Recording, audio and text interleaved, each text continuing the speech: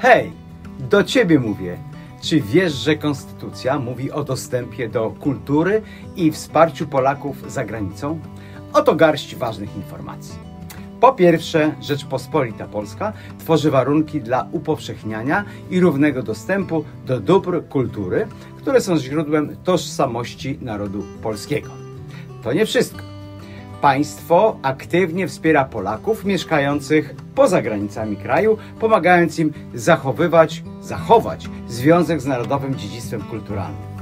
Co ciekawe, Konstytucja nie tylko definiuje nasze prawa i wolności, ale także podkreśla rolę kultury w naszym życiu i tożsamości.